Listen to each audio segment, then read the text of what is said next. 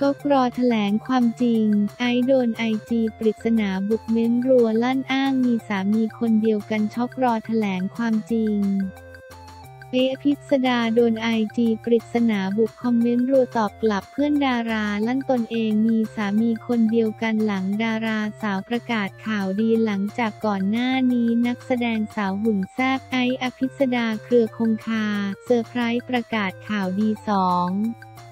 รอบติดทั้งถูกแฟนหนุ่มขอแต่งงานและเมื่อไม่นานมานี้ ไอซ์ประกาศข่าวดีรอบสองเป็นว่าที่คุณแม่แล้วเนื่องจากตนเองได้ตั้งครรภ์ลูกคนแรกได้ประมาณ 3 เดือนล่าสุดไอซ์อภิษฎาอุ้มลูกน้อยในท้อง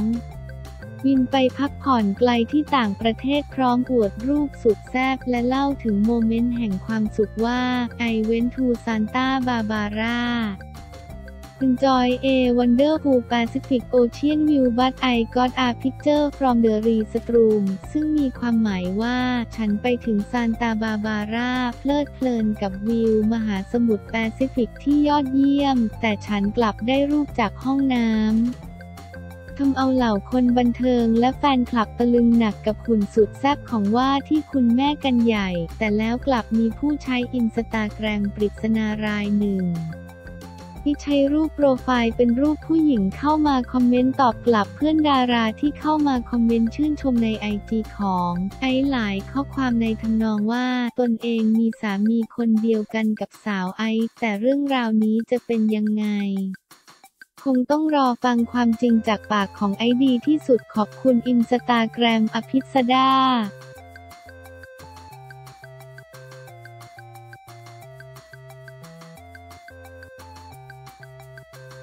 ไอจีปริศนาอ้างใช้สามีคนเดียวกับไอเดินหน้าแฉปล่อยหลักฐานรัวท้าดาราสาวไอจีปริศนาอ้างใช้สามีคนเดียวกับไออภิษดา เคลื่อนไหว เดินหน้าแฉเดือดฝ่ายชายปล่อยหลักฐานรัวท้าถึงดาราสาว โพสต์รูปผู้ชายวงการบันเทิงสั่นสะเทือนร้อนระอุอีกแล้ว เมื่อมีไอจีปริศนาเข้ามาป่วนในไอจีของนักแสดงสาวสุดแซ่บไออภิษดา ตอบกลับคอมเมนต์ของเพื่อนดาราที่เข้ามาชื่นชม สาวไอโดยอ้างว่า นเองใช้สามีคนเดียวกับไอท่ามกลางกระแสฮือฮาในโลกโซเชียลที่จับตามองถึงเรื่องราวดังกล่าว และรอฟังความจริงจากปากไอขณะที่ไอจีปริศนาที่ใช้ชื่อว่าไอขีดล่างแชร์ ขีดล่างฮัตแบนขีดล่างวิดขีดล่างไอแปลว่า นเองใช้สามีร่วมกับไอซ์ได้ใช้รูปโปรไฟล์เป็นผู้หญิงแถมในโปรไฟล์ในอินสตาแกรมยังลงข้อความแรงเวอร์ว่า ผัวขีดล่างไอซ์ก็ผัวขีดล่างฉันเหมือนกันอีกทั้งงงในไอจีดังกล่าวยังลงไอจีสตอรี่เป็นรูปของผู้ชายชาวต่างชาติคนหนึ่ง พร้อมข้อความภาษาอังกฤษอ้างว่า anyone no Rafael He ran away from SK after I got his baby. Now he is in Thailand with I over the influence money laundering Raphael family story แปลว่า เขาหนีจากฮ่องกงหลังจากรู้ว่าฉันท้องลูกของเขา ตอนนี้เขาอยู่กับไอที่เมืองไทย รวมถึงกล่าวหาฝ่ายชายถึงเรื่องธุรกิจสีเทา รวมถึงไอจีปริศนาดังกล่าวยังโพสต์ IG Story เป็นหน้าโปรไฟล์ไอจีของไอที่ถูกบล็อกพร้อมแท็กถามถึงไอว่า Why did you block me ไอ My husband already give you baby Rafael K Isma Family Story มีใจความว่าทำไมไอถึงบล็อกไอจีฉัน แล้วยังแฉสามีของไอเป็นภาษาอังกฤษซะอีกว่า I husband on Tinder every day I don't care She only need Chanel LV พุชชี่แปลว่า ฝ่ายชายเล่นแอบหาคู่ทุกวันไอไม่สนใจหรอหรือเธอต้องการสิ่งของ นอกจากนี้ไอจีปริศนาดังกล่าวยังโพสต์ภาพคอมเมนต์ของผู้หญิงรายหนึ่ง พร้อมข้อความเป็นภาษาอังกฤษฟาดเดือดว่ากามาอีส coming แปลว่า เวรกรรมกำลังมา โดยคอมเมนต์ของผู้หญิงดังกล่าวอ้างว่า เธอเคยเดทกับผู้ชายคนที่ถูกแฉมาก่อน ซึ่งฝ่ายชายเจ้าชู้จริง และสมัยที่เดทเขามีผู้หญิงเยอะ เพราะแอบเห็นฝ่ายชายแอบเดทกับผู้หญิงคนอื่นอีก และฝ่ายชายก็เคยชวนให้ไปฝรั่งเศสด้วย นอกจากนี้ไอจีปริศนาตอบถึงเหตุผลที่ทำแอคหลุม พร้อมแฉเดือดสามีของไออ้างถึงเรื่องฝ่ายชายมีผู้หญิงหลายคนไม่ใช่ ไอ แค่คนเดียวรวมถึงท้าไอเปิดหน้าสามีโดยระบุว่า ฉันก็ต้องทำแอคเคาท์หลุมขึ้นมา เพราะใครจะเอาหน้าจริงตัวเองมาใช้ แต่บอกเลยผัวนางไม่ใช่คนดีและไม่ได้มีไอคนเดียวน่าจะนอนกับผู้หญิงมาเป็นหมื่นคนแล้ว เช่าไอเธอออกจากคอนโดริมน้ำชั้น 49 บ่าย ก็มีอีกคนมาแล้วที่ไปภูเก็ตอมันเทียริก็อยากคิดว่าเธอคือเบอร์หนึ่งไปปารีสไปตูรินฉันก็ได้ไปคืนนี้สมเพศนี้ทำไมโง่ขนาดปล่อยให้ท้องกับผู้ชายแบบนี้ที่ออกมาพูดบอกเลย ฉันเป็นตัวแทนผู้หญิงทั้งในไทยและฮ่องกง อีกเป็นร้อยคนเราก็โดนผู้ชายหลอกและขายฝันมาก่อน ทำไมผู้ชายอยู่ฮ่องกงต่อไม่ได้ ก็ไปลองถามพ่อของลูกเธอดู แต่ภาษาไอจะคุยกับผัวฝรั่งรู้เรื่องไหม ในวงการงานอาร์ต เขารู้จักชื่อเสียงผัวนางดี แต่ไอซ์คงไม่รู้เพราะภาษาไม่ได้ดี ขนาดจะสื่อสารเรื่องลึกซึ้งได้ ปล่อยท้องซะแล้วถ้าเธอแน่จริงก็โพสต์รูปผู้ชายเลย แต่บอกเลยว่าผู้ชายไม่กล้าแน่นอน เพราะมีสลักหลังเทียบ ขอบคุณอินสตาแกรม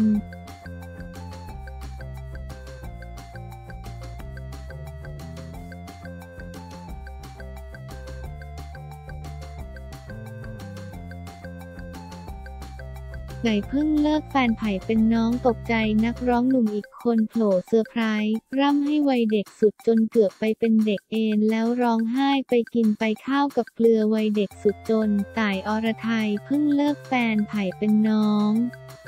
ตกใจนักร้องหนุ่มอีกคนโผล่เซอร์ไพรส์ลูกทุ่งขวัญใจดอกหญ้าต่ายอรไทย เปิดนาไทยนาต่ายนครนายกให้แฟนๆ ได้ชมบรรยากาศในรายการตีท้ายครัวพิธีกรถามถึงคู่จิ้นนักร้องหนุ่มไผ่พงศธรว่ากิ๊กกันจริงหรือเปล่า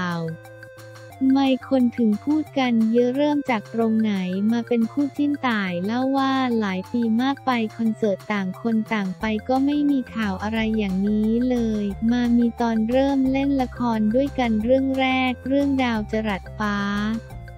วันนั้นเขาก็เริ่มจับมาเป็นคู่จิ้นกันมาตลอด แค่รูปหันข้างเหมือนกัน เขาก็ไปเขียนเป็นโมเมนต์แล้วติดแฮชแท็กติดทวิตเตอร์มุมข้างเหมือนจังเลยโมเมนต์นี้เป็นคู่กันได้ไหมเป็น feel อย่างนี้ ถามว่าเป็นฟิลน่ารักแต่ไม่ได้กิ๊กกันใช่ไหม ไม่โดยไผ่พงศธรส่งคลิปพูดถึงต่ายด้วยว่าพี่ต่ายเป็นคนที่คุยสนุกเอาใจใส่ทุกคนไม่ว่าจะเป็นไผ่น้องๆนนักร้องรุ่นน้องๆในบริษัทแกรมมี่เหมือนกัน รวมถึงนักร้องต่ายค่ายแฟนคลับแฟนเพลงผมคนหนึ่งเคยฟังเพลงพี่ต่ายทุกวันนี้ก็ยังฟังอยู่ตั้งแต่เข้าวงการเพลงดอกหญ้าในป่าปูนฟังแล้วให้กำลังใจตัวเองอยากให้พี่ต่ายสุขภาพแข็งแรงปลอยภัยไกลโรค พบเจอแต่สิ่งที่ดีดีๆเดินทางปลอดภัยทำธุรกิจขอให้ร่ำรวยโชคดีมีความสุขตลอดไปเป็นกำลังใจให้ถามว่าเอาจริง ๆ ตอนนี้ต่ายมีแฟนไหมต่ายกล่าวว่า ตอนนี้โสดไม่มีแฟนเพิ่งเลิกไป ถามว่าปิดหัวใจเลยไหม